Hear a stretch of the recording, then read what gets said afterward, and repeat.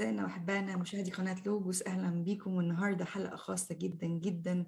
ويفرحنا أن يكون معانا نيافة الحبر الجليل لأول مرة الأنبا جوزيف الأسقف العام على ناميبيا وبوتسوانا وزيمبابوي وملاوي. أهلا بنيافتك سيدنا لأول مرة معانا على شاشة قناة لوجوس. وبنرحب بنيافتك أيضا من المقر البابوي بشمال كاليفورنيا والساحل الغربي للولايات المتحدة. أهلا بنيافتك في برنامج كنيستي في الماضي سلام ونعمة ودي بركة ليا. ناخد بركتكم كلكم ودي فرصة حلوة. أعرف على الخدمة في أفريقيا ومدى التطور اللي حصل فيها ودي فرصة سعيدة قوي نتقابل وربنا يكمل إن شاء الله. تعيش سيدنا أنا سعيدة أن شخصيا يفتك أول مرة تكون معانا.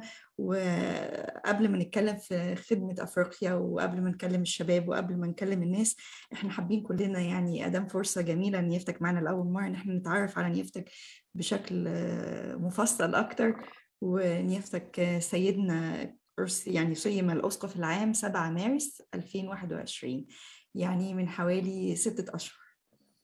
فأنا سعيدة جدا و... ونفسي نيفتك تكلمنا أكتر آه عن آه نيفتك أكتر يعني.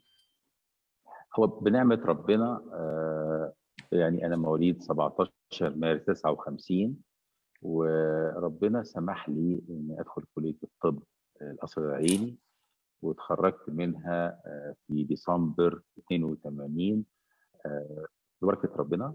واشتغلت لمدة خمس سنوات بنعمة ربنا ورحت دير الأنبا بشوي في ديسمبر 87 أعتقد كان في 19 ديسمبر 87 وذهبت كأخ تحت الاختبار وبنعمة ربنا تتلمست على أيدي آباء البرية الشيوخ الكبار اللي كانوا موجودين قبلي كلهم. قيادة سيدنا الله يقدس روحه ونيح نفسه سيدنا الأنبا سربهون الأسقف رئيس الدير. اتعلمنا حاجات كتيرة قوي. وكان و... و... في عهد قداسة البابا شنودة الثالث الله ينيح نفسه. العظيم في البطاركة فعلا. والحمد لله تتلمست في الرهبنة كأخ لحد ما ربنا سمح وترهبنت في 24 مارس 90 آه وكانت خدمتي أغلب الوقت في الفترة سواء قبل الرهبنة أو بعد الرهبنة هي الخدمة الطبية للدير فكنت بخدم ابائي شيوخ الكنيسة شيوخ الرهبان كلهم في الثلاث آه الانبا بشوي جنبنا الست العذراء السورياني وجنبنا بعد شوية الست العذراء البراموس وكان كله يجي في الدير وكانت في عيادات جميلة قوي ربنا عملها تحت إشراف سيدنا الله يقدس روح الانبا وكانت فرصة كبيرة قوي إن دايما بتعامل مع الشيوخ الكبار في البريه كانوا دايما يفيدوني ويعلموني وهم ليهم فضل عليا كلهم بصدق يعني. وكنت دايما أسألهم عشان أتعلم منهم أصول الحياة الرهبانية وأصول الحياة الروحية وما كانوش بيبخلوا عليا. وكل اللي انت بتسمع عنهم حضرتك ومن آباء القديسين في الاديره دول أنا خدت بركتهم والأحلى من كده صدقيني حضرتك كانوا بيدعوا لي ودعوتهم مش دعوة عالمية كانوا يدعوا بالحياة الأبدية. يدعو إنك ربنا ينجيك من حروب الشيطان ربنا يحميك ربنا يحفظك في الاسم القدوس ربنا يستخدمك لمجد اسمه آه خلي عينك على الأبدية شبعت بتعليمهم ده حقيقي. وبعد كده بعد الرهبنة سيدنا كان لي رؤية إن أنا اخدم آبائي وإخواتي العمال في الدير بالدير وخارج الدير. وابتديت فعلا أنزل بيهم القاهرة وإسكندرية العلاجات زي العمليات الجراحية والفحوصات وما شابه هذا. واستمريت كده حقيقي لحد ما ربنا سمح بالاسقفيه وفي الفترة دي ربنا سمح لي إني آخد الاسوسيه 25 يونيو 94 وبعد كده القمصيه في 10 إبريل 2005 دي تقريبا الفترة اللي قضيتها قبل الاسقفيه زي حضرتك ذكرتي في 7 مارس 2021 فتجدي إن مارس جميل معايا قوي فهو عيد. ميلادي وهو وهو عيد رهبانتي وبعدين أخدم الكنيسة وأخدم ولاد ربنا كلهم كأسقف عام في شمال أفريقيا. إيه اللي خلى نيافتك تطلع من الدير وتروح أفريقيا؟ يعني الحقيقة طبعا ده سؤال جميل جدا لحضرتك وده اختبار جميل من اختبارات الحياة مع الله وتسليم الحياة لله وطاعة الكنيسة.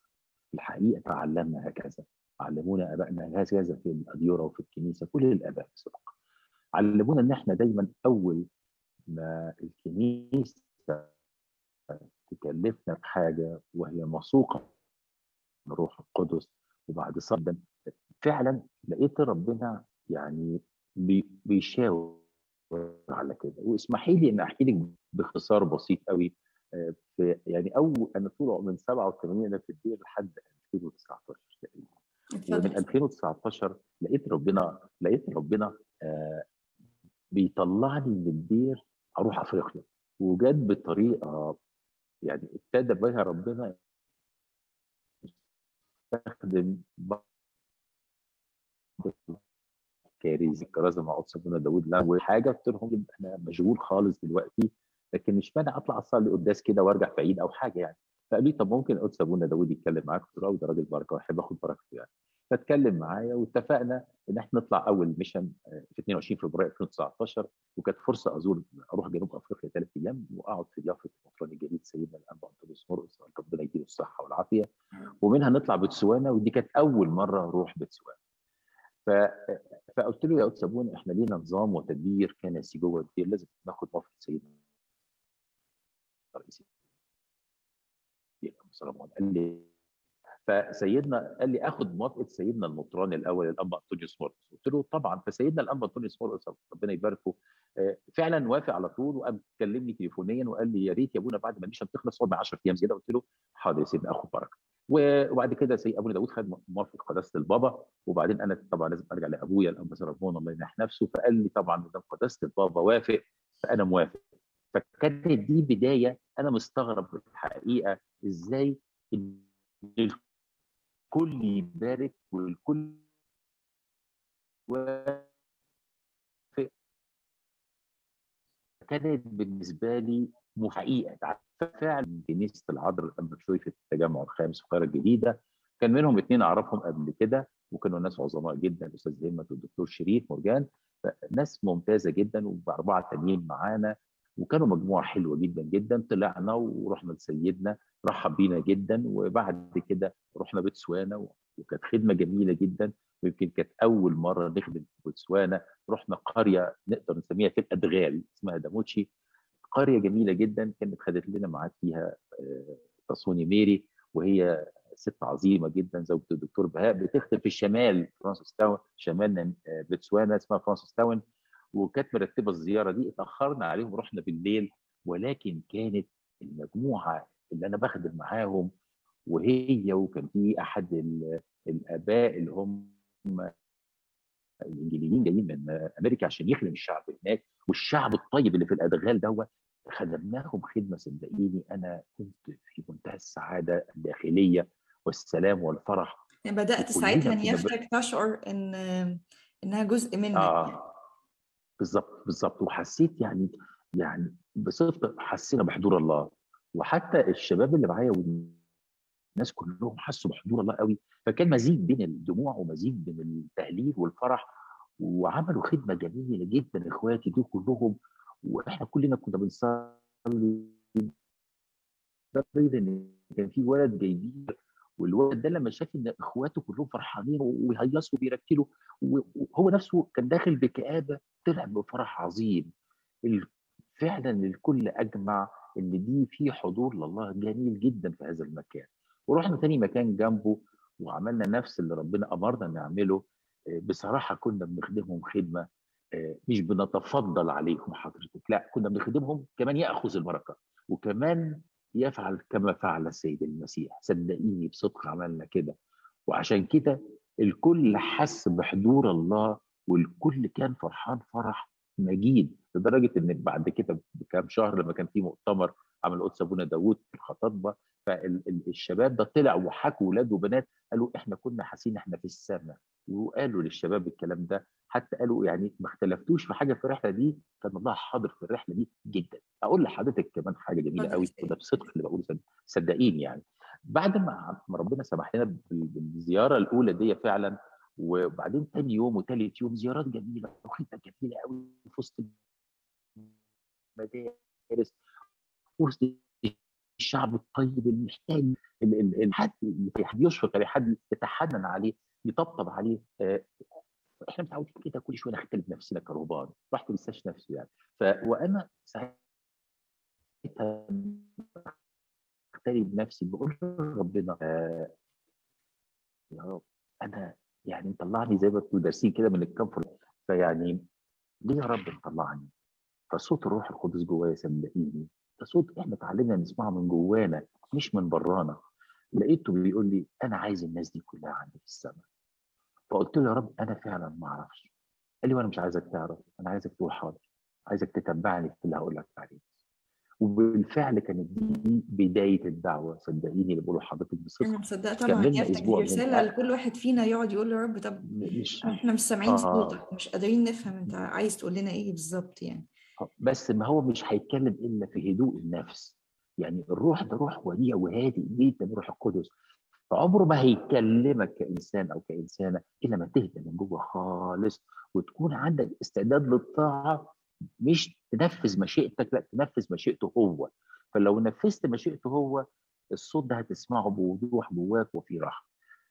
أكمل حضرتك أنا مش عايز أطيل عليكي بس لا لا خالص سيدنا جدا. اتفضل إحنا سعداء جدا. خدمنا خدمنا الخدمة الحلوة دي بوتسوانا ورحنا وصلينا في بيوت الأقباط هناك في بيت في فرانسيس تاون الدكتور بهاء المدمري صلينا ثلاث قداسات ورا بعض. 18 سنة ما حدش راح صلى هناك. فلما ربنا بعتنا نخدم إخواتنا وأحبائنا هناك كانت القداسات دي بالفرح والدموع. وبعد كده نزلنا جبر عند الدكتور جورج ومدام هالة. مش عايز أقول لك ناس كتيرة جت من إثيوبيا ناس يصلوا ناس من الصرب وناس من كل الكنائس يحضروا في البيوت. الناس دي بتصلي إيه؟ بتعمل إيه؟ فكانت أيام مباركة جدا وربنا يديله الصحة ويخلينا سيدنا الأب أنطونيوس ماركوس كان مدينا شنطة تعد عشان نصلي بيها وال- والبيوت سهرانة بتعمل القربان حاجة يعني وإخواتي الشمامسه معايا يعني قضينا أوقات حلوة جدا جدا نشكر ربنا ولما خلصنا ده كله وقابلنا ناس في وزارة الصحة عشان نعمل قدمنا حاجة اسمها memorandum of عشان نتواصل معاهم إزاي نقدر نعمل خدمة صحية بعد كده من خلال ال medical missions اللي بتيجي من أمريكا وكندا وأوروبا. وإزاي حتى فرصة إن إحنا اولادنا يقدروا يلتحقوا بالحكومة هناك ويشتغلوا في وظائف حلوة. يعني كنا من كل النواحي وخلصت ال- ال- ال- ال- ال- ال- الخدمة الأولى لمدة أسبوع ورجعنا سفر بالميكروباص اللي رحنا بيه لسيدنا الثاني وكانت الرحلة طول الوقت بنسبح وبنصلي ونقول مزامير ويسالوا أسئلة روحية ونزل نتصور وسط ال- الادغال وسط الصور الطبيعية ورجعنا حكينا له وكان فرحان وقعد يدعي لنا قوي ونزل صلى معانا قداس وبعدين قعدت مع 10 أيام كانت كلها قداسات وتعليم روحي وهقولها لك صدقيني بصدق قعدت مع سيدنا فترة طويلة قعد يشرح لي في الكرازه كأنه بيديني درس خصوصي وأنا برضو بسمع ومتعجب. يعني يا رب أنت قد كده مهتم قوي هنا؟ المهم نشكر ربنا خلصت الفترة دي ورجعت آه، الدير وكملت عملي كطبيب واخدم إخواتي ابائي الرهبان وإخواتي العمال بصدق واقدم لهم الأدوية بتاعتهم وآخد بركتهم. وقعدت مع طبعا سيدنا الأب سليمان أبويا الروحي وهو اللي مرهبني كل حاجة فشرحت له كان مبسوط جدا وباركني جدا وكان يعني فرحان جدا. وبعدين قابلت قداسة الباب وكان فرحان جدا وقال لي كمل معاهم وادرس وإقرأ ودي دعوة حلوة ونكمل ونشوف ربنا عايز المهم آه، بنعمة ربنا بعديها بحوالي ثلاث أشهر جت فرصة تانية عشان نطلع بوتسوانا وكانت قاعدين مع ال teamwork ليلة لما هنطلع واستنينا الفيزا ما جاتش الفيزا فكأن ربنا يغلق ولا أحد يفتح. لحد ما ربنا اتمجد بقوته لقيتهم بيقولوا لي إحنا عايزين عايزينك في ناميبيا. وكان في أب فاضل هناك أبونا مارك فطلعت خدمت معاه حوالي 40 يوم في July و August آه، 2019 وكانت خدمة جميلة جدا في ناميبيا ولدرجه إن ال- الخدام كلهم الحلوين دول ابونا داوود قال يمكن ربنا قفل البيت سوان عشان يفتح في ناميبيا. وفعلا قضيت 40 يوم كانوا حلوين جدا في ناميبيا وبعد كده يعني خدمت حلو وخدت بركة الناس كلها وكل ال- ال- الجنسيات على قد ما أقدر وخدمنا أخواتنا في في- أهم حاجة كنا نروح للناس الطيبين دول. عفوا في بيوت عايشين في بيوت صفيح حضرتك. وصاج لكن الناس طيبة قوي. وبتحس بالحب المقدم ليهم والبذل في الخدمة وبيتقبلوه على طول. بيحسوا فعلا إن إن إحنا بنخدمهم بحب وبقلب. بيفرق بين الجنون وبين الفيك في الحب وبين الحقيقة وال- والغير حقيقي. فحبونا جدا وكانوا مبسوطين جدا إن إحنا بنخدمهم. وأنا قلت لهم صدقيني قلت لهم يا جماعة إحنا جايين نخدمكم وجايين يدوقكم اللي إحنا ضايقينه في كنيستنا. نفسنا تدوقوا معانا اللي بندوقه ونفسنا تخشوا السما زي ما إحنا عايزين نروح من السما. وانتوا كلكم يا أولاد على راسي من فوق وأنا جاي اخدمكم مش جاي اتسلط عليكم لأن فكرة الك... الكنايس في أفريقيا مش زي فكرة الكنائس القبطيه الارثوذكسيه العميقة في فكرها و... وأسرارها وفدائها وفي تعليمها السليم. داقوا الفرق حضرتك وكانوا فرحانين جدا جدا وكانوا كل ما نروح لهم في أي مكان رحنا أماكن كثيره جدا وخدمنا خدمات جميلة والكل كان فرحان. رجعت بعديها باختصار سريع وربنا رتب لقاءات حلوة مع أبونا داوود وقداسة البابا لحد ما يعني الأمور استقرت. أنا في يعني 20 ثلاث أربع أشهر كده بس كانت فرصة حلوة قوي إني أحضر في الفترة دي. خدمة بتاع medical missions جاية من كل العالم. مصريين جايين يخدموا إخواتهم في أفريقيا هنا وعملوا خدمات. يمكن ال mission برئاسه مؤسسة سمانة على رأسها الدكتور أستاذ الدكتور هاني عشام الله أستاذ الدكتور جورج حنا تدرس. عملوا خدمة رائعة هنا حقيقي في في ناميبيا. وتواصلنا مع في دكاترة هنا ساعدوهم الدكتور باسم والدكتور عماد والدكتور يوسف سعد. كلهم تواصلوا معاهم وقدموا خدمات حلوة لدرجة إن أحد الدكاترة عمل جراحات مخ واعصاب هنا كتيرة جدا وكانت سبب شفاء للكل. سيادة الوزير الصحه قابله شخصيا هم ووكلاء الوزارة ورحبوا بيه وعملوا برنامج شكروا فيه الكنيسة القبطيه اللي جاية من مصر واللي جاية تخدم إخواتهم في ناميبيا هنا. نسيت أقول لحضرتك عفوا ودي كانت حاجة جميلة جدا. في زيارتي الأولى لناميبيا جه شباب وشابات صغيرين من سن 16 ل 22 سنة من أمريكا وكندا عملوا خدمة جميلة جدا عن medical awareness وقدس أبونا مارك في ذاك الوقت وضب لهم في خدمة في دخولهم للمدارس. دخلوا المدارس عملوا حاجات إبداع. أنا نفسي كنت بتفرج بتفرج على الفرح في المدارس. إزاي الناس دي سايبة الدنيا وشباب وجايين يخدموهم؟ قدموا خدمة تعليمية روحية من كل النواحي. وقلت لهم طب أنتوا درستوا إيه يا أولاد؟ فقالوا لي إحنا درسنا برنامج اونلاين عن African youth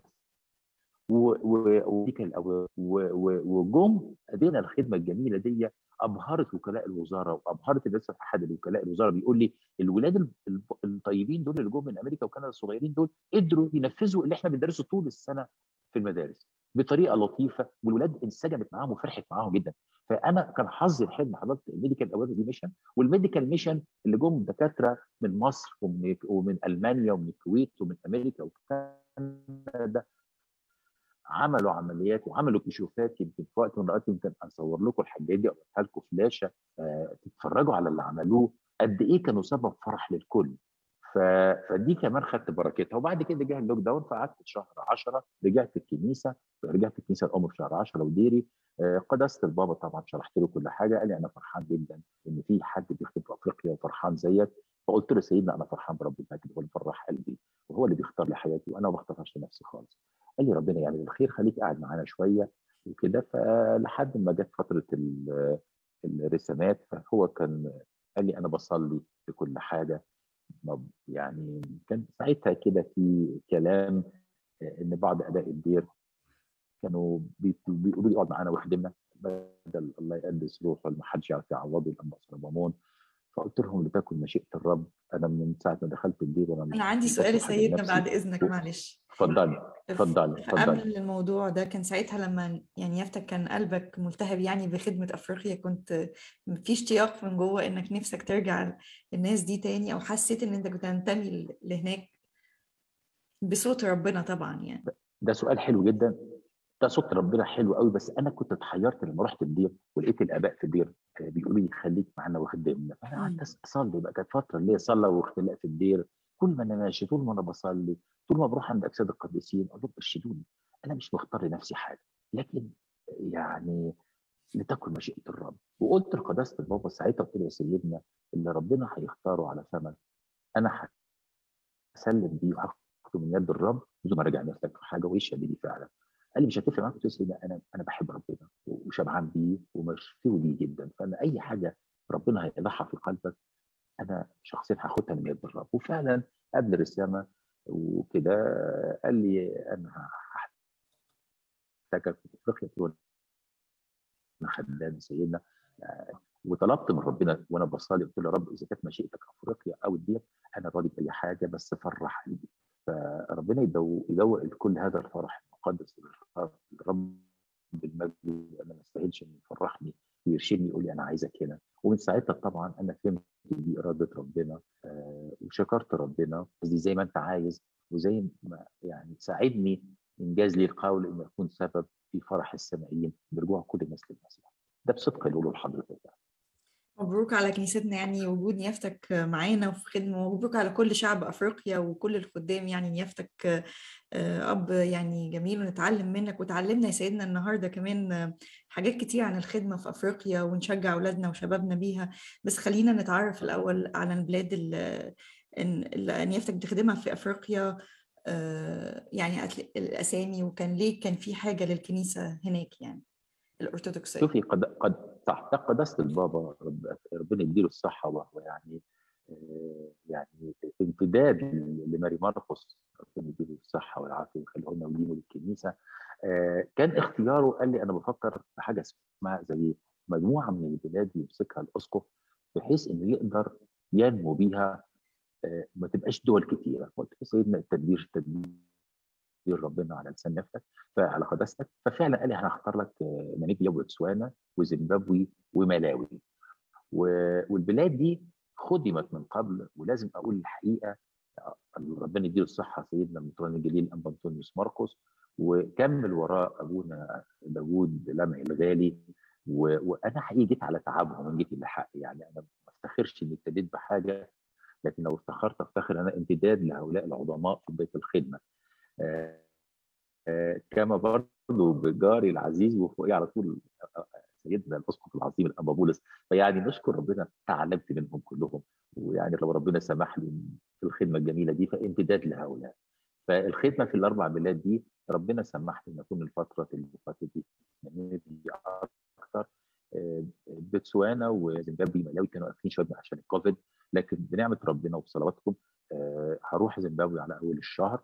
يمكن الفترة اللي فاتت كانت لي فرصة إن أروح كان سيدنا المطران مر بالصحه بعافية شوية ربنا يشفيه فقال لي تعالى لي بسرعة فرحت له جنوب أفريقيا قعدت طبعا بعلم قداسه البابا وقال لي اقعد معاه قد ما تقدر كانت الفيزا بتاعتي شهر فقدرت أقعد شهر وخدت بركته ودعا لي من قلبه وربنا يديله الصحة ورجعت ناميبيا وبتحرك في ناميبيا ما بين العاصمة ويندهوك والشمال أوندانجوا والحقيقة إن معايا هنا يعني اثنين أباء أتشرف بالخدمة معاهم أبونا جون في ويندوك وابونا كرولوس في اوندانجوا والاثنين ملائكه واختيار إلهي صدقيني.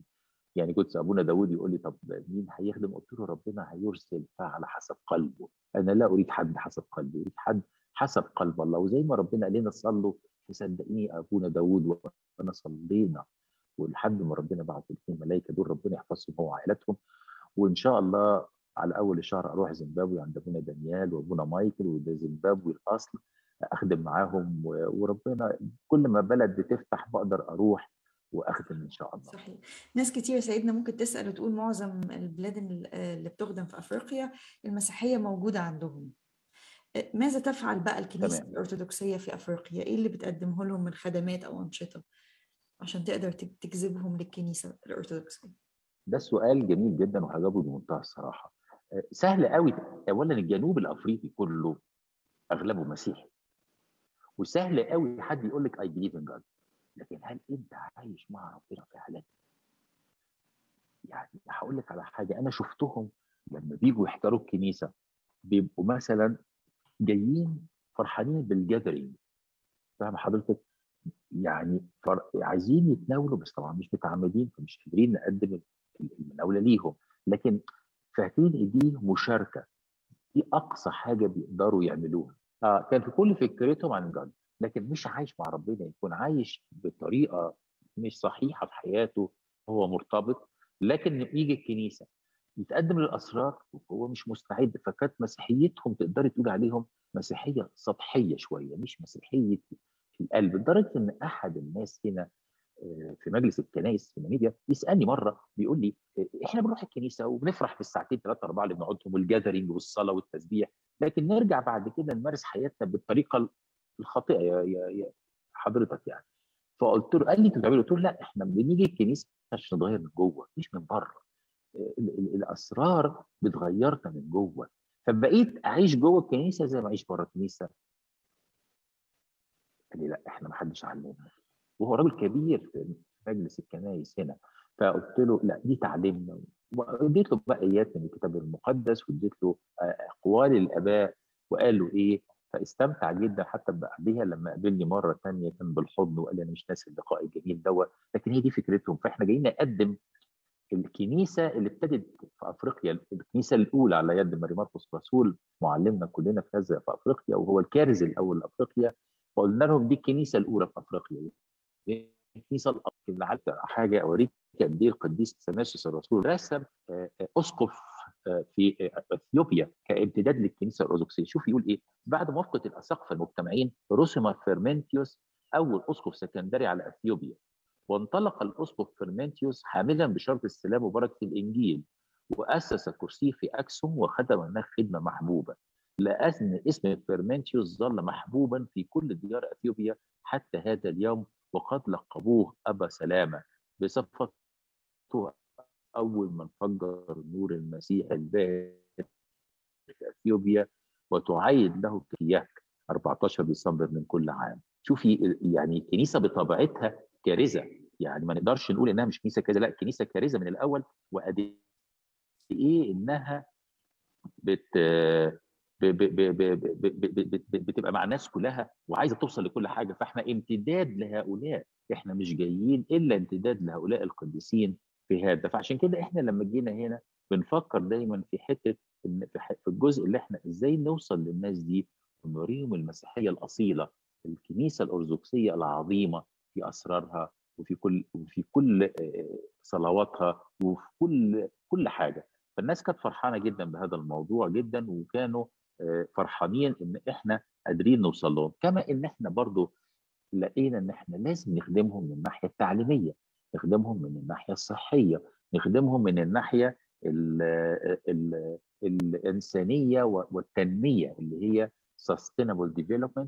وطبعا ال group اللي أنا معاه group حلو جدا ودارس حضرتك كويس قوي وكلكم طبعا عارفين إن الأمم المتحدة نزلت 17 نشاط للتنمية المستدامة. إحنا ما كنا في اجتماع امبارح الكهنة والخدام على اجتماع زوم بندرس إزاي نوصل في كل بلد للخدمة اللي هي اللي تناسبها فكانت حاجة جميلة جدا. بنهتم بيهم حتى عفوا بنعمل لهم زي حاجة كده اسمها soup kitchen زي kitchen صغير نقدر نروح بيه في المناطق البسيطة قوي ونقدر إن إحنا نخدم الناس دي. عفوا إن الولاد الصغيرين ما بياكلوش. يعني برضو زي دي نقطة مهمة نفسك بتقولها برضو سندروم تفهم برضو إن الخدمة في أفريقيا طبعا الناس دي محتاجين جدا جدا جدا. أوي. طبعا. محتاجين الجانب الروحي يشوفوه بشكل مختلف طبعا عما تعودوا عليه هناك لكن محتاجين كمان خدمات بالظبط كتير. صح. قوي أحكي لحضرتك قصة معزية جدا. طبعا أنا إحنا عندنا قصص ما بتنتهيش مع إخواتنا وأحبائنا دول. إحدى القصص الجميلة أبونا جون هنا في بويندهوك بنخدم في قرية اسمها في العاصمة اسمها كوتشينيسي القرية دي كل سكانها ساكنين في بيوت صفيح وصاج الكنيسة بترعاهم صدقيني بصدق على قد ما ربنا بيدبر بنعمل لهم زي يسموها ال grocery bags ليهم أكل مخصوص tradition بيجيبوا لهم كل شهر تقريبا بيوت ربنا. والولاد لما يجوا يصلوا في الكنيسة هنا لازم بعد القداس ياكلوا. نجيب لهم سندوتشات وعصير. لو تشوف النهارده قدس ابونا بنفسه واقف يوضب لهم مكانهم إزاي؟ يعني يعني حاجة خدمة جميلة قوي عشان يجوا يفرحوا عشان يجوا يشوفوا قد إيه المسيح بيحضنهم وقد إيه إحنا بنخدمهم فعلا صدقيني. ونروح لهم مكانتها مكانهم لما كانت في لوك داون كان أبونا بنفسه يروح وياخد معاه الشماس مقرصين هو تنجيني ويروحوا يخدموا الولاد دول والبنات في أماكنهم ويعملوا لهم ويختاروا لهم هدايا وحاجات حلوة. فأبونا بقاله مدة بيزور هناك لحد ما واحد جاله قال له حضرتك بتروح؟ كوتشيميسي في منطقة وراها ناس اسمهم صن أو حاجة زي كده. لما سألنا ليه دول من النبيين الأصليين فأبونا راح للناس دي. صدقيني لو أبعت لك الصور قاعدين طبعا البيوت الصاج دي لو دخلتيها حضرتك هتبكي هتبكي معانا. لكن أبونا بقى راح لقى الناس دي عايشة في خيام مقطعة. حاجة حاجة يعني حاجة غير آدمية. بس العجيب إنهم فرحانين. العجيب إنهم متعزين. العجيب إن الناس دي كل ما في أماكنهم عندهم رضا وقناعة. فأبونا بيقول لي نعمل إيه يا سيدنا؟ قلت له يا حبيبي لازم ناخد لهم اكل ونبسطهم. المسيح بي كأنه زي ما قال لبولس الرسول لما جاله الراجل المجدوني قال له اعبر علينا واعنا إحنا لما نسعى ده هو ربنا كأنه بعت واحد يقول لك تعالى. المهم بقى أحكي لك حاجة معزية قوي. واوريك قد إيه رب المجد ده دائما زي ما بيقولوا زمان كان روح الرب يرف على وجه الماء اتفضل. جات له واحد وهو راح يزورهم لقى واحدة حامل على وشك الولاده قدام مثلا في الشهر الأخير في المستشفى اسمها كتاتوره قال لها طب مش عايزة حاجة طب أجي اوصلك يا بنتي يعني أبونا عايز يخدمها قلت له أنت قلقان عليا ليه؟ هي العذراء لما راحت ولدت في بيت لحم مع يوسف النجار الشيخ الكبير كانت شايلة هم أبونا قال لي إيه ده؟ إيه يا سيدنا ده؟ أنا وقفت في مكاني اتسمرت قلت له أنت بتحكي نفسي حصل لي كده الناس البسيطة دي قارنت بكده وأنا الإنسان اللي دايما أشيل هم بكرة وأشيل هم كذا وعايز ابني أو بنتي يولدوا مش عارف فين عشان ياخدوا جنسية إيه والمستشفى دي أحسن والدكتور ده أفضل ودي بتقول له العذراء شالت هم. فكانت نقطة جميلة قوي تعلمنا منها حضرتك. وده اللي كان بيخليني عفوا حضرتك إن دايما كل الناس اللي بتيجي تخدم هنا أقول لهم يا جماعة إحنا جايين نتخدم مش جايين نخدم. إحنا لم نأتي لنتفضل على هذا الشعب. نحن نأخذ منهم البركة. زي ما علمنا القديس يوحنا الذهبي الفم لما قال إن الناس دول هم الأغنياء الحقيقيين اللي هيدخلونا السماء. هم دول هيقفوا قصاد ربنا ويقولوا لنا الناس دي هي كذا. ده اللي اتعلمناه عمليا حضرتك وفعليا. دي رسالة كل مرة سيدنا لكل الناس اللي نفسهم والشباب اللي نفسهم يخدموا أو أو الناس اللي نفسهم يروحوا يخدموا في أفريقيا. أنت مش هتروح عشان تتفضل على الناس دي. زي ما سيدنا بيقول أنت رايح تتخ... تخدم نفسك. وتشوف شوف يعني الحقيقة بقى اللي تتعلم منها بالضبط. وتشوف معاملات المسيح معاك وان اون وان كده. وفعلا رأي حضرتك ده فعلا صح. والناس اللي جت خدمت سواء كبار أو صغيرين ماشيين بيبكوا. حسوا إن إنهم إنهم يعني ده جزء من الفردوس. أنا آسف أقول كده بس حاسين إن ربنا موجود فرحانين فرحانين فرحانين فرح مقدس. ده اللي قال عنهم ده فرح أنا بعطيكم لا أحد يستطيع أحد أن ينزعه منكم. فاللي بيجوا أنا بحبهم يخدموا بالطريقة دي وبحاول انقل لهم الخبرات العملية في هذا عشان لما يخدموا بالطريقة دي يرجعوا فرحانين وزايدين في الحياة الروحية فيقدروا يخدموا الآخرين في بلادهم. إيه رايك نفتك نشوف بعض الصور مع الناس تشوف برضو جزء من الواقع هناك في الخدمة؟ اتفضلي. آه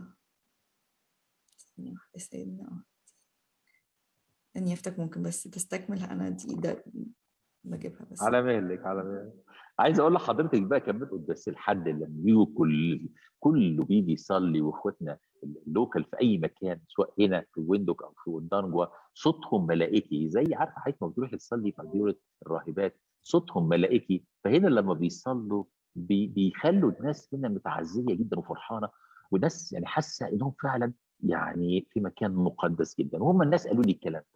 يعني حتى إخواتنا الناميبيين الأصليين لما بيجوا يصلوا مثلا نقول لهم لسه لازم ناخد كورس للصلاة وكده كورس للبري بابتزم وكده ونتعلم الإيمان الحقيقي فالحقيقة إنهم بيقولوا بس الكنيسة بتاعتكم دي حاجة ثانية خالص. طبعا. فبيحسوا طبعا. بيها فعلا حضرتك. اتفضلي لو تقدري تعرضي الصور. نيافتك أنا بعرض أهو أول صورة.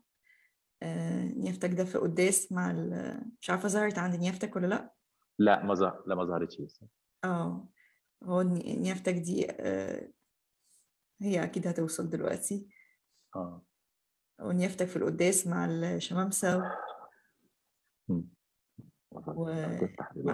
آه. ودي نيافتك مع الأطفال آه صور جميلة. وفي آه حتة غسل ال الأرجل برضو جميلة دي قوي قوي مع الولاد. بس أنا أحب هو الناس أدام إحنا في وسط الحلقة وبنتكلم عن أفريقيا وال... آه. آه. لا طبعا الناس يشوفوا صور حلوة جميلة جدا حقيقي. وخدمه الأطفال الجميلة قوي والهدايا اللي بتدوها لهم الجميلة وال... آه. أحكي لحضرتك حاجة جميلة قوي عن الهدايا دي. كنا في أول رحلة في فرانسيس تاون في الشمال فكنا بنزور زي معسكر ترفيهي و و ورياضي لبعض الولاد اللي في سنه اللي في إعدادي وابتدائي من المدارس. وكانوا بيجوا ناس من روتري بيخدموا في في فرانسيس تاون في شمال بوتسوانا.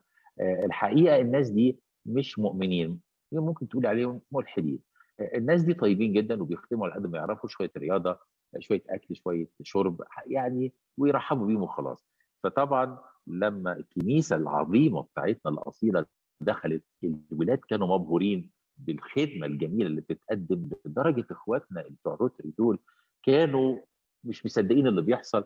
وبعدين زي ما حضرتك شايفه كده قعدت على الكرسي وبقيت ألبس الولاد صليب والصليب زي زي في سبحة ونزل منها صليب كده. صحيح. والناس حطاه حضرتك على إيديها كده زي الناس اللي بيمشوا في الشوارع.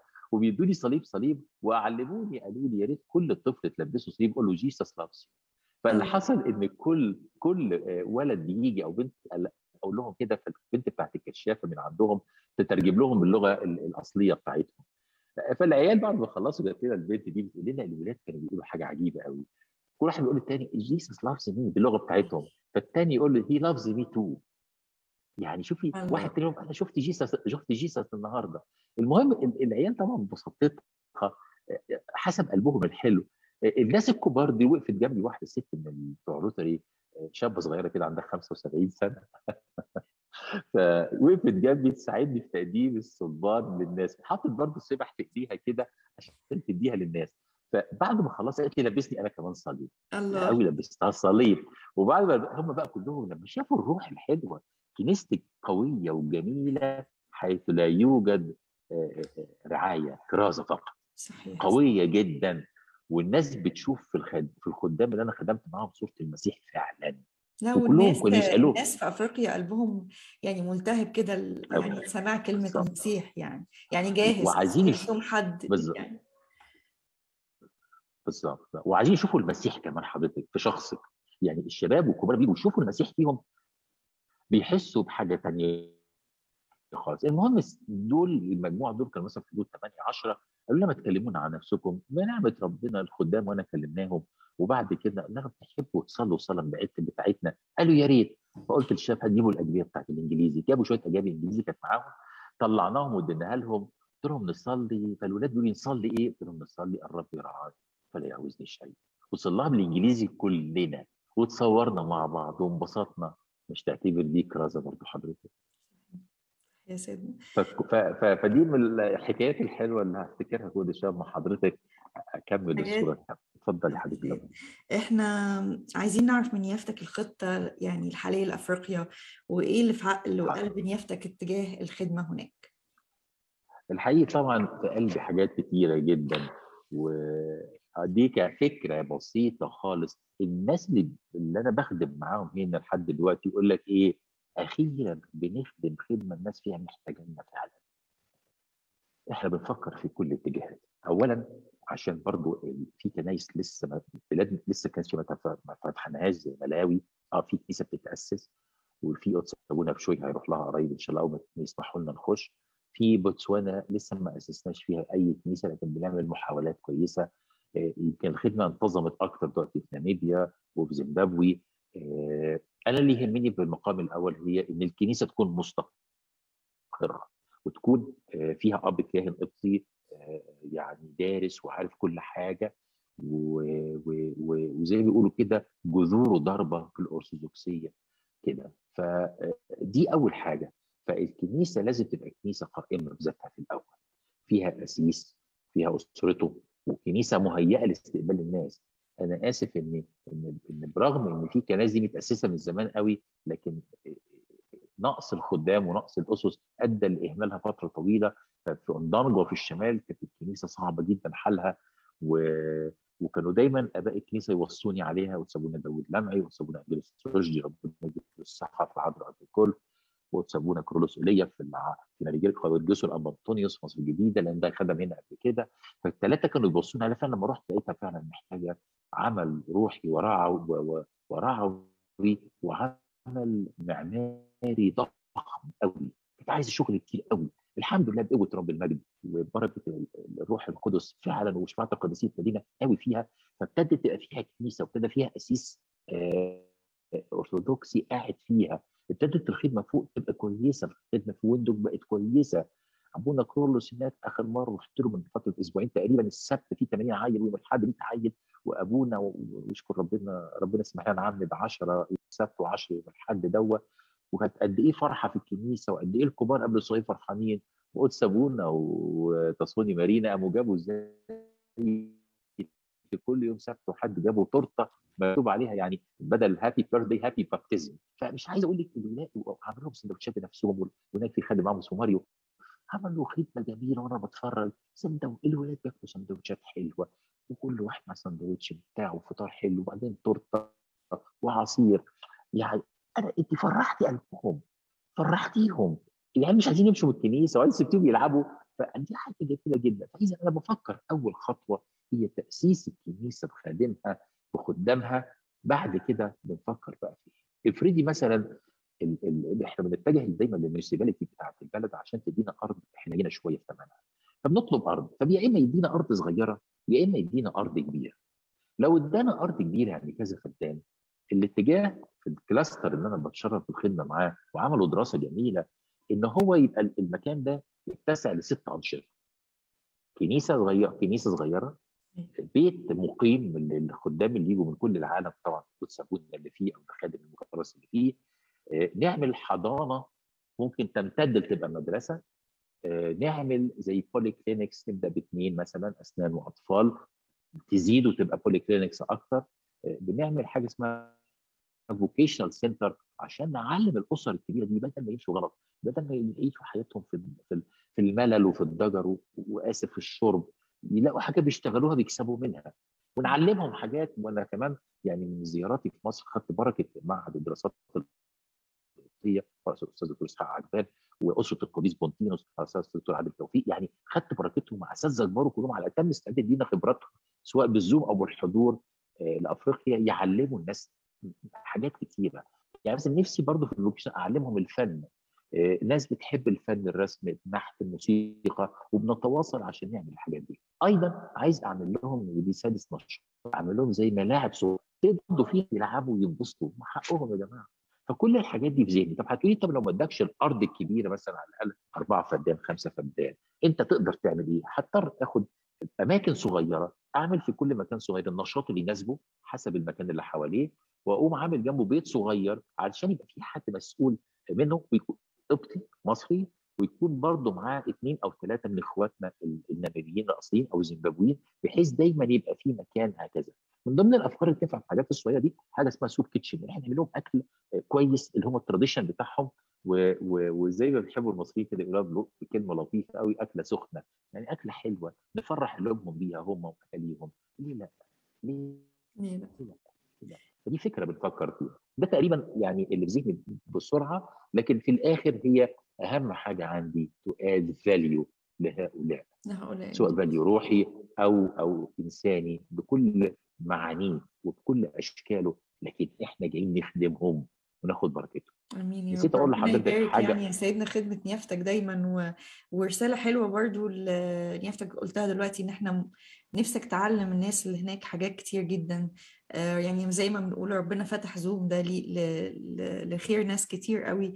فاللي عنده إمكانيات وعنده اللي شاطر في الفن اللي شاطر في الألحان اللي شاطر في احتياجات الكنيسة في أفريقيا يتواصل مع سيدنا وإحنا إن شاء الله هنسيب ال contacts كلها بتاعت سيدنا في آخر اللقاء على الشاشة تتواصلوا مع سيدنا. اللي مش قادر يروح أفريقيا مش لازم يروح أفريقيا تواصلوا مع الولاد دي وساعدوهم آه، وخدموهم عن طريق آه، اونلاين يعني في خدمات كتير دلوقتي الحمد لله تقدر تتعمل اونلاين يعني. اتفضل يا بالفعل حضرتك أنا تواصلت مع اساتذه في الجامعة وناس أفاضل كلهم في علمهم كلهم قالوا لي اعمل Zoom فابتدينا نعمل زو نت و Zoom يعني خاص بكل كنيسه هنا في ناميبيا بحيث إن مثلا حضرتك متخصصة في حاجة فلانية أجمع الشباب هنا أو الناس الكبار ويسمعوا الاجتماع ده. إحنا محتاجين مثلا دعم نفسي. يبقى أجيب ناس في psychiatrist أو psychologist ويقدروا يعملوا كورسات للناس دي. عايز أعمل اعداد خدام أجيب واحد متخصص في المجال ده متخصص في المجال ده. يعني من الحاجات الجميلة جدا إحنا عايزين نعلم الولاد والبنات بعض الألحان القداس وكده. أبونا بيعمل لهم زي هيكل بره الكنيسة كده ترابيزة صغيرة كأنها هيكل طبعا أو كأنها ترابيزة مذبح ويقفوا عليه يعلمهم إزاي يعملوا الدور زي ما اتعلمنا في مصر. فبنحاول فجت اتجاه أحد بعت لنا website فيه ألحان ومردات الشماس فابتدوا الولاد يحفظوا من هذا. وبنحطها لهم على شاشة أو على بروجيكتور حسب ما عندنا ونقول لهم فالولاد لقطوا ده وبيتعلموا. فبقينا نجيبهم في الكنيسة نبعت نجيب الميكروباص ويجيبوا هنا وكل متخصص يقدر يفيدنا بحاجة في أي حد عنده يعني تخصص في شيء ويقدر يفيد بيه إخواتنا وأن to add value ليهم إحنا مستعدين نجيبهم من أي حتة مستعدين نخليهم يشوفوا الزوم بتاعه وعلمه الغزير ويقول لنا ويعلمهم كل حاجة. جاهزين لنستقبل أي نوع من التعليم سواء أي نوع حتى فني سواء أطباء أو سواء دكاترة نفسيين أو سواء كورسات كمبيوتر كل حاجة كل حاجة. انجلش حاجات فنية لغة قبطية ألحان دروس كل حاجة وبنحاول نعمل دروس دروس آه في المدارس برضه. بالظبط. ولسه صدقني كنت بتكلم مع أبونا جون في الموضوع دوت وبيقول لي في مدرس حساب هنا أو math يعني فنقدر نجيبه ونعمل زي يعني تدريب أو تعليم للأولاد أكتر جوه الكنيسة. قلت له أنا موافق. أبونا كيرلس في الشمال أوضة كده بناسسها ك training room نعمل لهم كل الكورسات الممكنة في كل أنواع العلم فإحنا اللي هنقدر نعمله وإحنا موجودين. ده ال Zoom ده كويس. عشان كده بنحاول ندخل نت كويس وربنا يسهل إن شاء الله بصراحة. ربنا يسهل سيدنا. وهي دي دعوة لكل الناس اللي الناس تقول أنا نفسي أخدم بس مش عارف أخدم في إيه. دي دعوة الناس ما بتقدرش تروح تخدم في الكنيسة من بيتك تقدر تخدم كل إخواتنا بالظبط. المسيح في كل مكان بالوزنة اللي أنت أتمنت عليه. لو أنت مدرس math لو أنت English لو أنت صح. شاطر في الكمبيوتر في ال software في الحاجات كتير دي تقدر تدي وتساعد بيها لو أنت طبيب تقدر تدي ساعة اسبوعيا أو أو حتى شهريا كده من وقتك صح. دي تبقى أحلى خدمة صح. يعني وتحس بالناس اللي هناك قد إيه تكونوا محتاجين زي سيدنا نخلي ولو في حد كمان ولو ولو في حد في التنمية المستدامة وإحنا بنحاول ندرس دلوقتي كنا امبارح 17 مجال بنحاول نحصرهم في سبع أو ثمان حاجات اللي بتقدر تفيدنا في أفريقيا وبعد شوية هنحصر كل بلد في أكثر حاجة تختص بيها المجال التنميه ده. فلو في حد في التنمية المستدامة ال sustainable development يا ريت يقدر يقدم لنا مساعدة برضه. حضرتك آمين يا ربنا يبعت كل الخدام ويشوفوا إن إحنا الكرازه محتاجة كتير جدا جدا جدا يعني. قوي قوي قوي قوي قوي إزاي نخلي الكنيسة اللي بتاعي سيدنا soft power ونربط البلاد مع بعضها في مختلف المجالات؟ ده سؤال جميل جدا واتجاه مصر الحالي ككل اتجاه قداسة البابا فعلا إن إحنا نربط مصر بأفريقيا. وبيقولوا إحنا نعتبر إن الكنيسة القبطية هي واحدة من الأدوات ال ال ال ال ال الخدمات الناعمة أو أو الاتصالات الناعمة للتواصل بين البلاد وبعضها. ففعلا فعلا as soft power إحنا بنتواصل على كل المستوى ده فإحنا متواصلين جدا مع البعثات الدبلوماسية كويس قوي. علاقتنا بيهم طيبة جدا جدا نشكر ربنا. علاقتنا بال... ب... ب... ب... بالناس اللي بنرعاهم سواء مصريين أو غير مصريين بس عندهم هذا الإيمان الارثوذكسي فدول بيتحولوا لرعاية مش كرازة. بنرعاهم كويس قوي بنعمة ربنا. في نفس الوقت أنا تواصلت حقيقي ده فضل من ربنا وتحت رعاية قداسة البابا. بوزارة الخارجية وقعدت مع سيادة السفير المسؤول عن شو اسمه الأستاذ السفير شريف عيسى هو مساعد الوزير للشؤون الأفريقية. وقعدت معاه وعرضت عليه افكارنا في التنميه قال أنا مبارك جدا وهو بعت رسالة للسفراء كلهم بتوع دي انهم يستقبلونا كويس جدا ويرحبوا بينا جدا. فدي نقطة كويسة قوي. قعدت مع السفراء القدام والجداد عشان آخد خبراتهم في المجال ده فكانوا برضو مساعدين جدا. قعدت مع بعض أعضاء لجان الصحيه في مجلس الشورى عشان نتواصل في الناحية الصحية. ربنا سمح لي بمقابلة جميلة جدا جدا مع برضو أعضاء في مجلس الشورى في الناحية التعليمية وفي الناحية الخارجية. وكانوا كلهم مرحبين جدا في مصر. يبقى لها دور ريادي بخير الكنيسه القبطية. أيضا ربنا سمح لي بمقابلة جميلة جدا مع سيادة السفيرة الوزيرة نبيلة مكرم. وقعدنا قعدة جميلة جدا. وقالت لي إن حضرتك جيت في الوقت اللي أنا بفعل مبادرة اسمها مبادرة مصر الأفريقية أو لتنميه أفريقيا. وقالت لي كده في مكتبها إن أنا واخدة موافقة الرئاسه في هذا الموضوع. وقالت لي عندك استعداد إحنا نتعاون مع بعض ونتعاون مع المصريين كلهم هناك ونشوف هم عايزين إيه ونتعاون معاهم. وإحنا في صدد هذا تفعيل هذا بحيث إنها تعمل اجتماع Zoom وتخش معاهم وتشوف نقدر نس... نس... نتعاون إزاي ك... ك soft power في خدمة البلاد مع بعضها وربط مصر بكل أفريقيا. فبصفة أنا لما بنزل مصر كل فترة أتواصل مع كل حد عايز يمد إيده ويساعد في تنمية العلاقات بين الدول وبعضها يساعد في هذا الصدد وتعاملت مع ناس كتيرة وتواصلت مع ناس كتيرة جدا والكل قلبه حلو والكل عايز يساعد. لكن الكنيسة عريقة في وطنيتها حقيقي وأصيلة في حبها لمصر. وأنا حتى أقول للآباء والخدام اللي موجودين إحنا بنمثل الكنيسة القبطية ونمثل مصر. فأرجوكم تبقى دايما صورتنا حلوة. وحتى يعني أعلمت قداسة البابا أنا بيهمني في الخدمة هنا إن تبقى صورة الكنيسة القبطية مشرفة للكنيسة ولمصر في نفس الوقت في كل الأوساط آمين يا رب يا سيدنا. نيفتك قبل كده برضو كلمتني على الأطباء اللي كانوا بيجوا من المهجر الولايات المتحدة ومن كندا. دي برضو نقطة مهمة جدا. بتقولي ال mission دي كانت بتفرق معانا جدا بس ما فيش متابعة أو ما فيش استمرارية فيها. إيه الرسالة اللي نيافتك تحب تقولها لل mission الطبية يعني؟ الحقيقة أنا برضو كويس السؤال ده قوي أنا كانت ليا لقاء مع وكيلة الوزارة هنا صح في وزارة الصحة هنا وقلت لها إحنا عايزين نعمل medical missions مستمرة. ما فيش حاجة اسمها مرة في السنة ولا مرتين في السنة. أنا بحلم إنها تكون في medical mission و educational mission في نفس الوقت كل شهر. و mission spiritual عن طريق ال group اللي في مصر بيخدم البلاد دي. فقالت لي طب انت بتفكر إزاي؟ قلت لها لا أنا هاجي لك كل مرة ونقسم السنة على 12 mission.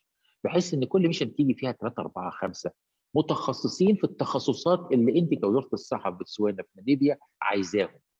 ويجوا ناس على أعلى مستوى مصريين اقباط من كل حتة يخدموا البلد هنا مجانا وياخد وكده. قلت لها حتى كمان أنا نفسي إن هؤلاء الأساتذة في جامعاتهم يفيدوكم يفيدوا هنا ويعملوا زي دراسات و lectures ويعملوا زي تواصل دراسي في في في علمهم. فيفيدوا وبالفعل بالفعل ده ابتدينا فيه في الميشن اللي جت في فبراير 2020 وفعلا درسوا في الجامعة وفعلا عملوا لقاءات جميلة إضافة في كل نواحي العلم وعملوا عمليات بيفتخروا بيها لحد دلوقتي. يعني وكالة الوزارة بتقول لي وهي تعتبر العنصر المحرك للوزارة هنا في ناميبيا قالت لي ده حاجة مشرفة أنتوا عملتوها. بس نخلص من حكاية الكوفيد وهرجع انسق تاني مع كل بلد معاها جروب بيخدمها من بره في العالم يقدر يجي بقى بصفة مستمرة بحيث تبقى إحنا كمصريين وأقباط قادرين نيجي نخدم كل شهر كل شهر متواجدين. حلم. لكن ربنا يسهل وربنا يدي يعني علاج لهذا الكوفيد 19 علشان الناس تقدر تتحرك زي كانت بتتحرك زي امين يا رب يا سيدنا سيدنا هل كل خادم أو كاهن لازم يعني ينفع يجي يخدم في أفريقيا؟ ولا مش كل الناس مدعوين للخدمة في أفريقيا؟ أنا أنا عندي السؤال ده ليه شقين الشق الأول أقول لحضرتك أحبه انه يجي بالذات اللي هيستقر يكون مدعو من الله. يمكن عشان كده أنا تعمدت إن أنا أقول لحضرتك وأقول لأحبائي إن أنا ما جيتش هنا بإرادتي خالص. لازم يكون الله داعي الخدمة صعبة الكرازة غير الرعاية. الكل متعود على الرعاية في مصر. وكنيستها كنيستنا بقى لها مدة بتتجه للرعاية أكتر. مؤخرا لما سيدنا العظيم الاب انطونيوس اللي احب اسميه أبو أفريقيا ابتدى ربنا وراه يديله الصحة يا رب وطولة العمر يا رب. بألف سلامة. يعني تحياتنا طبعا. من المهجر ومن أمريكا. طبعا. طبعا. طبعا. وجه سيدنا الأنبابوس. وجه قدس أبونا داود لمعي وسنبول ابتدوا ياخدوا بقى الشق ده على عقيدتهم ويبتدوا وربنا ارسلني ارسلني أرسل ضعفي إن أنا أكمل هؤلاء. فأنا يعني نفسي إن الكرازه تبقى كده.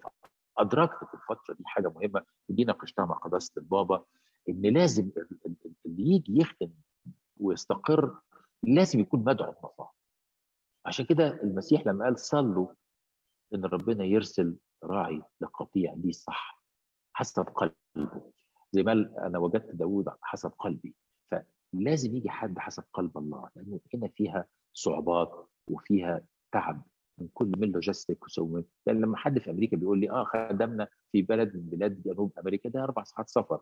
لكن عشان تيجي ناميبيا أو بوتسوانا هتعمل سفر يقترب من أكثر من 20 ساعة تعمل مرتين ترانزيت على الأقل. فموضوع صعب. أنا عارف مش حاجة شاقة. أنا باجي من مصر هنا باجي في ترانزيت مرة وباجي في سفر 11 ساعة لكن المهم هنا لازم يكون الإنسان مدعو من الله فعلا بالذات لو كان أبونا الكاهن أو أبونا أو أخونا الخادم الريزنت اللي هيقعد هنا لازم يكون مدعو طب هتقولي لي ليه مصر على؟ قلت لك حضرتك أنا قعدت مع شيوخ الكنيسة الآباء الكبار سواء أباء مطارنا أو أباء أسقف أو أباء كهنة أو أباء رهبان وسألتهم إزاي نخدم في أفريقيا قالوا لي يا سيدنا لازم تستقر في أفريقيا. ما ينفعش تقعدوا شهرين وتمشوا ثلاث أشهر وتمشوا لازم تقعدوا. فأنا اتفقت مع إخواتي الكهنة هنا قلت لهم يا أبائي مش هينفع نقعد كل شوية شهرين ثلاثة ونمشي لازم نقعد فترة طويلة. وفعلا هم نفسهم شهدوا قالوا لما قعدنا ثلاث أربع أشهر ورا بعض الكنيسة ابتدت ترجع تاني قلت لهم أيوه حرام أسيبهم. فنمرة واحد حضرتك الدعوة مهمة عشان تستقر ودي نصيحة أباء الكنيسة واستأذنت فيها قداسة البابا قال لي تبديل النتيجه الصح الأسلوب الصح لازم نتجه بيه وفعلا ابتدينا هنا وأنا حتى هنا بحاول أستقر في وسطهم ك ك ك كربنا تمني إن أكون بخدمهم كلهم فلازم أكون في وسطهم أتحرك من ناميبيا لبوتسوانا لهنا لهنا لهنا بحيث إن أنا أكون في وسط أولادي. مش عايز أقول لحضرتك لما ربنا سمح لي وجيت الأسبوع الإعلام هنا فلما جيت وسطهم فالشعب بيقول لي إحنا كده حسينا إن إحنا مش يتمى مش يتامى. فكتر خيرك إنك سبت الدنيا وجيت صليت في وسطنا. فإحساس جميل قوي إنك بتخدمي اولادك ومسؤوله عنهم قدام ربنا. عشان وقاعد كده وسطهم دايما وحاسين بالظبط بقبول بالظبط بالظبط بالظبط. فدي النقطة الأولى. النقطة الثانية هتقولي لي طيب حضرتك مش كل الناس دارسة كرازه عشان تيجي تخدم؟ أقول لك طبعا ليكي حق. اللي دارس كرازة سهل. بس في ناس بيقولوا لبعض إحنا مش دارسين كرازة وبس أنتوا شوقتونا للخدمة في أفريقيا أو في آسيا أو أمريكا الجنوبية إحنا عايزين نروح نخدم. هؤلاء لما بيصرحونا أنا بحب هنا أقول لهم على ثلاث حاجات حضرتك. أقول له صلي الأول شوف هل دي دعوتك إنك برضه تيجي تخدم ولو 10 أيام أو شهر. شور أب اعترافك اللي هو اللي عارفك من الأول ويديك تأييد لهذا. نمرة ثلاثة أقعد مع حد من الخدام اللي هم بتوع الكرازة اللي أنا أثق فيهم دارسين كرازة كويس وأقعد معاهم ولما تقول لي آه أحط له برنامج يجي هنا يخدم. وجواه برنامج دراسي بسيط يعني نسميه زي كراش كورس كده للكرازه ولما ألاقي اشتياقاته زادت وحس إنه مدعو أقول له يبقى لازم ندرس. معايا حضرتك؟ لو جه دارس خير وبركة لو ما جاش دارس أعلمه حاجة بسيطة ولو لقى عنده اشتياق لهذا أساعده لازم يكمل دراسة لأن الدراسه بتفيد حضرتك طبعا طبعا يا سيدنا. خلينا نقول الخطوط العريضة عشان لو حد بيسمعنا دلوقتي وقال أنا متشوق قوي أجي ونفسي أجي أخدم ويلا أطلع على طول إيه الصفات الأساسية اللي لازم تكون موجودة في أي خادم أو كاهن في خدمة الكرازة بشكل عام؟ ده سؤال جميل جدا حضرتك وفعلا أنا فعلا كل يوم والتاني بيكلموني عائلات حبايبي جدا من أمريكا وكندا وأوروبا وأستراليا ومصر عايزين يبعتوا ولادهم هم عايزين يخدموا نفسهم. بصراحة اللي عايز يخدم. لازم يكون ليه حياة مع ربنا؟ ممتلئ من الروح. ليه شركة مع الروح القدس؟ لازم تبقى قلبك في اشتياق لهذه الخدمة. يعني كمان يخدم الرب نفسه. هحكي لك حاجة أفهمك عايز أقول إيه. مرة أنا في الشمال لوحدي كده خالص. الشمال لوحدي في اوضنجا فكنت الولاد الصغيرين بيجي يلعبوا لو تتفرجي عليهم بيلعبوا بإيه؟ ولا بينبسطوا إزاي؟ حاجة رهيب باقل حاجة في الدنيا. جايبين الكاوتش بتاع العربيات اللي بايظ وبيلعبوا مع بعض. وفرحانين جدا جدا جدا. لدرجه وأنا بتفرج عليهم كنت أنا ببقى, سعيد بيهم. لما بيخلصوا يجوا لي فادر فادر عايزين نشرب مية. أخش أجيب لهم مية. وأجيب لكل واحد صدقيني. أجيب له كوباية المية بتاعته واديها له ويبقى حاسس جواه لما بشرب المسيح نفسه. ودي نقطة مهمة قوي وكان يقول لي عايز تاني أخش أجيب له تاني والتاني يقول لي والتالت يقول لي والرابع يقول لي لحد ما أجيب لكل واحد وأنا شاعر جوايا إن أنا بشرب المسيح مية. زي ما قال هو لو لقيتم أحد من هؤلاء الاصغر فبي قد فعلتم صدقني أنا عايز اللي يجي تكون عنده هذا المشاعر هذه المشاعر. إنه نمرة واحد ممتلئ من الروح نمرة اثنين إنه جاي يخدم المسيح في شخص أولاده نمرة ثلاثة يحس إنه جاي يخدم مش جاي يخدم هو جاي ياخد بركة الناس دي ويقول يا ربي ده أنا استفدت من هؤلاء الناس. عايزه هو بيخدم يخدم باتضاع المسيح اللي غسل رجلين الناس واللي قدر يوصل لهم رغم انهم ماشي قوي معاه لكن بالحب قدر يكسب الناس دي كلها.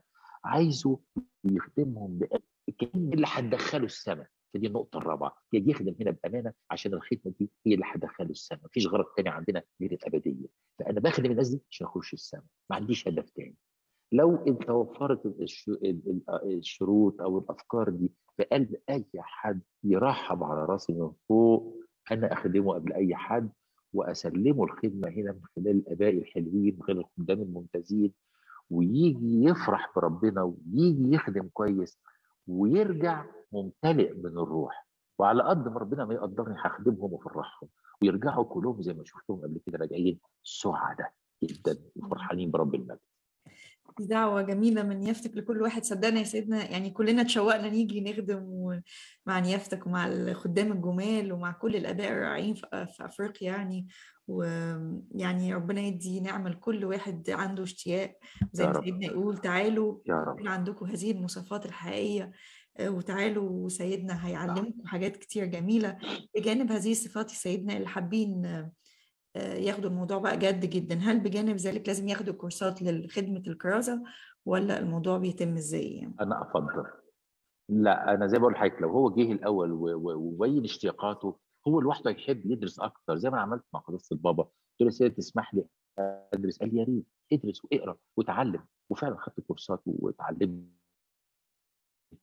ودخلت في زوم وسمعت كل كل الناس اللي بتدرس. وبعض إخواتنا الخدام الجمال اتعلمت منهم ودرست معاهم. وقريت على قد ما أقدر. لازم لأن ربنا ده مربى الاشتياق يبقى. ليه ما يدرسش؟ ليه ما ليه ما يتعلمش؟ أنا أحبذ طبعا ان هو يدرس لأن برضو إحنا لينا زي كده شكل معين في الخدمة. لازم كلنا بنقدمه صح بس ده الفكرة كلها. عشان خلي بال حضرتك إن أي حاجة حلوة بيعملها الخادم اللي بيجي سواء اللي جاي في mission أو جاي في resident أو خادمة هو صوره للمسيح. فيا إما يخلي الناس تفرح يا إما يخليهم يقولوا بلاش. وشفت ده وشفت ده. فالصح إيه؟ إن إحنا اللي يجي لازم يعرف كده إنه جاي في خدمة معينة. طبعا كلهم تحت عين الكنيسة وتحت رعايتها وبنوجههم وصدقيني مش هيندموا لحظة إنهم جم. هي بس السفر طويل شوية سامحوني فيه. أبعت لكم بقى سحاب زي السواح. إيه سيدنا أهمية التدريب العملي لخدام الكرازه يعني برضو إن هم يجوا ممكن يقولوا إن إحنا نفسنا نسافر وما يوصلوا هناك ما يحبوش يقعدوا ولا يكملوا. دي حاجة برضو مهمة وأكيد نيافتك شفتها برضو يعني. دي مهمة قوي عشان كده حضرتك لما بتأسس الكنيسة بأبائها وخدامها فلما في ناس مثلا درسوا سامبول ودراسة نظرية جميلة ونجحوا بس إحنا محتاجين تدريب عملي اجيبهم هنا تدريب عملي وبتعمل لهم كورس في دراسة الآباء الموجودين ودراسة الخدام الموجودين في مصر. نعمل لهم كورس معين بحيث إنهم يخدموا حسب الكورس ده خدمة حقيقية فده يعتبر تدريب عملي. لو إنسان ما درسي أجيبه أعمل له هذا التدريب العملي بدراسة وكورس. أدي لك فكرة بسيطة قوي عن الشباب الصغير اللي جه ده أنا اتعلمت منه. لقيتهم جايين من ضمن البرنامج بتاعهم ده أنا اتعلمته منهم حقيقة إن إن إنهم قالوا إحنا هندرس كتاب من الكتب نقراها سوا في بلادنا ولما نيجي هنا ندرس كل يوم شرط الحقيقة أنا اتفاجئت لأنه كتاب أنا بقول لك صعب. كتاب للكاتب الإنجليزي C.S. Lewis. لما قعدت مع الولاد والبنات وابتدينا نتكلم ونشرح وهم يقولوا لي آرائهم ولقاء يعني conference جميل جدا جدا حضرتك. أنا قلت لقيت بنتين 16 سنة. قلت لهم أنتوا قريتوا الكتاب ده وبتتكلموا عنه؟ قلت لي أيوه إحنا اتعلمنا كده في مدارسنا نقدر نقرأ أي كتاب ونلخص. فعشان كده اتعلمت منهم إن أي رحلة ميشن جاية لازم يبقوا قاريين كتاب وندرسوا سوا هنا. فاهم حضرتك؟ فده يخليهم مهمين لبعض ويكملوا بعض. زي ما نشرح حاجة من الكتاب المقدس يعني بقى في برنامج حلو قوي. تخيلي بقى حضرتك اللي أنا بحلم بيه وأشركك معايا وأشرككم معايا كلكم فيه في كل كنيسة هنا بحاول أعمل بيت زي اللي بتسموه في الاديره بيوت الخلوة. بيت حلو وأوض جميلة تسع نفرين أو ثلاثة حاجة نظيفة قوي. تليق باولادنا وإخواتنا اللي جايين من آخر الدنيا. مفيش حاجة تخش لهم حشرات. مفيش حاجة تخش لهم حاجة مش كويسة لأ حاجة كويسة تليق بيهم. وقت من الكنيسة الأمهات اللي طلبوا كده بيتوب جوه الكنيسة. فتخيلي حضرتك تصحي الصبح تلاقي التسبيحة شغالة وقداش شغال. نفطر سوا كلنا وندرس حاجة بسيطة. وبعدين ننزل نروح لإخواتنا بره ونخدمهم أو تريش في القرى الجميلة لهم كل الحاجات ولو يوم سبت وحد في مدرسة قعد هنا يخدموا في الكنيسة أو في اوندانجو أو في زيمبابوي أو أي حاجة. وبعدين يلاقوا ده كله يروحوا بالليل يعملوا زي عشية زي تمجيد لأحد القديسين نعمل حنوط لحد من القديسين. إحنا هنا ربنا يبارك في الأباء اللي خدموا قبلي كلهم ناس قديسين ومباركين جابوا أجساد جزء من جسد ماري مرقس وماري وأبو سيفين وكده. فحاجة جديده لما نعمل حنوط لهؤلاء الأباء الحلاء الشهداء الجمال دول. فبيبقى جو حلو. ندرس حاجة تجد اليوم بقى جميل. الناس فعلا تبقى فرحانة. الناس فعلا ادي برنامج روحي برنامج خدمة. وبعدين مش غلط لما يتفسحوا شوية يروحوا طبعا طبعا مهمة كمان جدا. بالنسبة للشباب كمان. يتفرجوا على لازم لازم صدقيني. طبعا طبعا لازم لازم لازم. ويعملوا مثلا في هنا عندهم في الهايكنج يتسلقوا الجبال. يعني لازم نشركهم في كل حاجة. وفعلا إحنا بنحضر لده. هتقولي طب ناس كبار في السن ودي ناس سالوني لي فيها ناس مثلا معاشات يعني. هو معاش يقول كده يعني لكن ناس معاشات عايزين طبعا هنقعدهم جدا نجيبهم ونفرحهم ونشركهم معانا زي الشباب هم برضه شباب القلب يعني. صحيح يا سيدنا هو الخدمة الكرازه لا تقتصرش على الشباب بس يعني. يعني زي ما نيفتك بتقول في ناس كتير صحتهم حلوة وطلعوا على المعاش ويقدروا يسافروا لا طبعا طبعا طبعا طبعا برامج لده كله. ويجوا هنا وينبسطوا هنا ويفرحوا. بربنا ويقولوا إحنا قضينا يعني أدي لك مثل بسيط قوي. أه لحبيبي واخويا الكبير الأستاذ زينب شنوده لما جه أول رحلة معانا فقال لي أنا صليت سبع قداسات في 10 أيام ودي حاجة يعني يعتبر زي يعني حاجة ما سبقتش قبل كده ريكورد أنا عملته في حياتي. تخيلي حضرتك لما يجوا إخواتنا الكبار الحلوين دول وآبائي كلهم ويجي كل واحد والست بتاعته هو وأصحابه؟ وتخيل لما يقعدوا مثلا 15 يوم يصلوا فيها 10 12 قداس. حاجة جميلة قوي يحضروا تسبيحه والتمجيد ويحضروا درس كتاب ويحضروا ويكون في كتاب محضرين ونتناقش فيه كلنا. نتناقش في أمور شتى. يخدموا أخواتنا هنا. أنا مش عايز أقول لك أنا شفت الحاجات دي قد إيه مفرحة ومبهجة. والناس لحد دلوقتي يقولوا إمتى يخلص الكوفيد عشان نيجي تاني براحتنا فبنعمة ربنا في برامج لكل الناس. اللي عايز يشترك في الزوم أهلا. اللي عايز يجي بنفسه هنا أهلا. بنعمة ربنا بنعمة ربنا. قوة المسيح. يعني شفاعة القديسين. هتنبسطوا وهتخدموا دي تشجيع جميلة من يفتك لكل شباب المهجر آه والعائلات وأصحاب المعاش. والمنظمات الطبية والأطباء وكل اللي ليه ربنا مديله وزنة أو موهبة في حاجة مشاركة بخد في خدمة الكرازة الميشنز رحلات الكنيسة دي مهمة قوي لأولادنا يا سيدنا. أنا أحب إن يفتك تعلق على نقطة رحلات الكنيسة للأولاد من ابتداء من ثانوي والجامعة والخارجين دي مهمة قوي قوي قوي يعني. آه طبعا طبعا. ربنا يعني يدينا كلنا إن إحنا نستفيد و... وفي جانب طبعا في هقول لحضرتك. في جانب عملي طبعا. كبير ده أهم حاجة يعني. بس يا ريت نفسي كل الكنائس في المهجر تعمل كده يعني. و ال... طبعا الولاد الصغيرة بيجوا لازم من فوق 16 سنة أو يجوا مع أهليهم. يعني مثلا الدكتور شريف ده مرة جه هو ومراته عنده طفلين صغيرين فبيقولوا له يعني إيه اللي جابك؟ قال لي نفسي العيال دول يبقوا كارزين من صغرهم. تخيلي ست وسبع سنين. اشركناهم معانا في في محور المدارس ويسلموا على اخواتنا هم النميبيين هنا ويدوا لهم الهدايا بنفسهم والولد لبس شماس البنت اشتغلت وخدمت معاهم خمس سنين. حاجة جميلة قوي. مثل رائع رائع. جم شباب برضو خدموا هنا مرة فشوقتوه نرجع بيت بالشمال رجعوا لبسوا ستهم ورجعوا للمسبح. فهنا بيتعمل لهم كل واحد بيلاقي نفسه فعلا محتضن من المسيح نفسه من القديسين. الكنيسة فرحان بيها أو صدقيني صدقيني بقول لحضرتك كنيستنا دي تبان حيث لا يوجد أحد غير المسيح والقديسين. حتى لما تقفي تصلي لوحدك في الكنيسة وهي فاضية أنت أنت بتشعري إنك بتكلمي القديسين فعلا. صدقوني أنا مش بضحك عليكم فلما بتيجوا كمان تخدموا وتقعدوا هنا بتحسوا بصدق وبتبقوا عايزين تعيشوا في توبة مستمرة.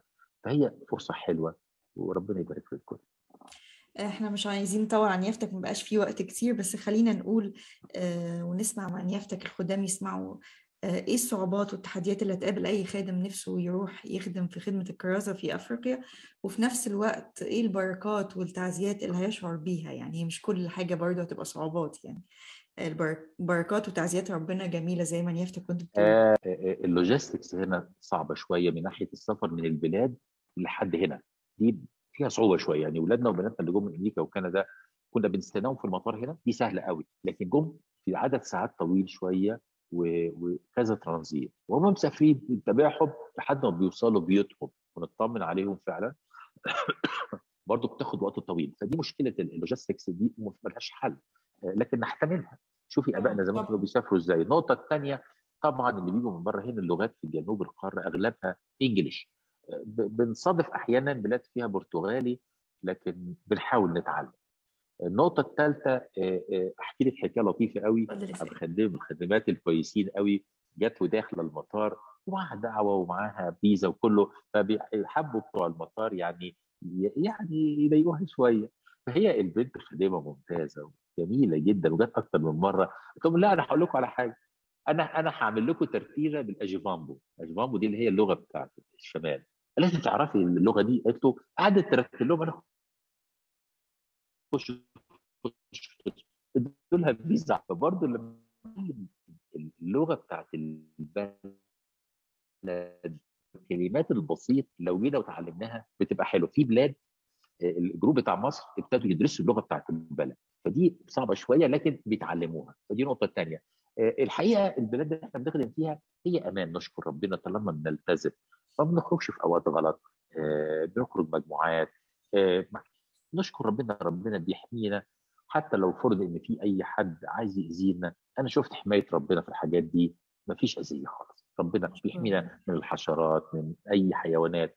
رب المجد مش ممكن الولاد يجوا ما يحموهمش فدي نقطة ثانية مهمة. آه الأكل طبعا مش هيبقى بحلاوه بلادكم الحلوة لكن يعني يعني أحيانا ما كناش لاقيين الفول هنا ما بيزرعوش فول مثلا. فهنصوم تخيل بنصوم الصوم الكبير من غير فول. طب هنعمل إيه؟ حاجة ربنا. بيدبر كل حاجة طبعا آه لو حد بيتفرج. علينا دلوقتي ونفسه آه سواء في مصر أو في المهجر يكرس حياته لخدمة الكرازه آه إيه الرسالة اللي نيافتك تقولها له؟ ونتكلم عن تعزيات ربنا برضه في هذه الخدمة يعني. على قد ما هي شاقة وعلى قد ما هي صعبة على قد ما تعزيتها أجمل بكتير. شوف أي أي اللي عايز يكرس نفسه ممكن يكون سنجل وممكن يكون مرتبط زيجيا ممكن يكون عنده أولاد وأنا شفت ده كله بس يكون من قلبه كده. لازم طبعا لو هو لوحده أو هو أسرته لازم يكون الكل بيصلي من أجل الموضوع ده عشان يسمع صوت ربنا. دي نقطة مهمة قوي. النقطة الثانية طبعا يتابع كنيسته اب اعترافه يتواصل معانا علشان يتأكد. وبرده لازم برغم ده كله لازم حضرتك يجي ويختبر نفسه على شهرين ثلاثة ويشوف نفسه هل دي الحياة اللي عايزها. دي كل ده مقدمات مهمة جدا. ونيجي هنا إحنا بنقعد معاهم أو أنا عندي طلبات قد كده في ناس عايزة تيجي وبنرتب مع الأبهات. مش كده؟ بقول معايا هعمل بنعمة ربنا يخلص بتاع رمضان اللي زي بيت الخلوة. وهنا برضو بنعمل لهم هنا في ويندو كده بحيث يجوا يقعدوا وهم اللي يقرروا بنفسهم إذا كان كده يبقى لازم يدرسوا ويبقوا معانا في كل خطوة. أنا بقول لحضرتك حاجة كل أنا هقول لهم هي كلمة التعزيه الحقيقية كل ما تخدمي حد ما يقدرش يقول لك حاجة المسيح نفسه هو اللي بيعزيك. وهو قال كده لما تعمل وليمة ادعي العرج والعصمه والع- وال- والعمي و و و و ما عندهمش حاجة يقدروا يكفوك بيها فتكافئ في ملكوت السماوات. محدوق ال- ال- ال- ال- المكافأة دي هنا. صدقوني حدقوها هنا لأن الناس دي ما عندهاش حاجة تديها لكم. فاللي هيديكوا رد الفعل هو السيد المسيح نفسه وأنا بوعدكم بيه وده اللي أنا ضايقه وده اللي إخواتي هنا ضايقينه إنهم بياخدوا ال- ال- ال- ال- ال- الريورد من رب المجد نفسه مش من حد تاني. صدقوني.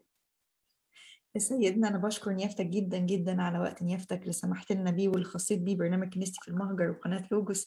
وسعيدة أن يكون مع نيافتك في أول لقاء يعني ونتعرف على نيافتك آه، شخصية وأب آه، رائع. ربنا يديم نيافتك لأفريقيا وخدمة أولادك في كل مكان هناك. ويا بختكم بأبوة سيدنا. ويا بخت كل اللي بيخدم مع نيافتك يا سيدنا يا رب دايما كده ربنا يسندكم. ويفرحكم بأولادكم وفي خدمتكم ويرسل فعلة كده لحصاده بقى ملايين كده يا رب في كل اللي بيسمعنا. وإن شاء الله بنعمة ربنا إحنا في البرنامج هنتابع معاكم آه، كل فترة لو تسمح لنا يا سيدنا تكون معانا وناخد بركتك آه، ونتابع معاكم دايما آه، عمل ربنا. ونشوق قلب الناس كلها لهذه الخدمة المباركة الجميلة يعني.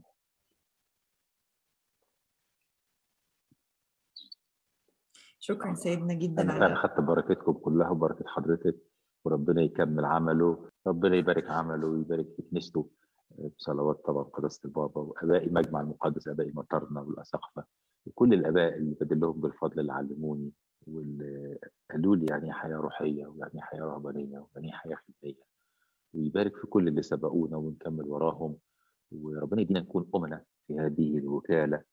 ونسلم للي جاي بعدنا حاجة يكمل عليها ما نسيبهاش من الأول خالص لكن يسيب له حاجات يقدر يكمل بيها خدمه رب المجد وكنيسته المجيدة له كل مجد وكرامة من الآن. نيافة الحبر الجليل الأنبا جوزيف الأسقف العام في أفريقيا في أفريقيا آه، أنا بشكر نيافتك شكرا جزيلا سيدنا سعداء جدا النهاردة نيافتك كنا موجود معانا وباركتنا واتكلمنا على موضوع مهم جدا في خدمة أفريقيا وتعرفنا على نيافتك. شكرا يا سيدنا على وقتك وعلى محبتك ونشوفك في لقاءات قادمة بنعمة ربنا. تحياتنا لكل شعبنا في أفريقيا وكل الآباء الكهنة الفاضلين كل الخدام اللي مع نيافتك. ربنا يبارك في عملكم في خدمتكم ويثمر دايما كده ويحفظكم دايما يا رب. شكرا جزيلا. شكر خالص شكرا حضرتك سلام. مع ألف Thank you.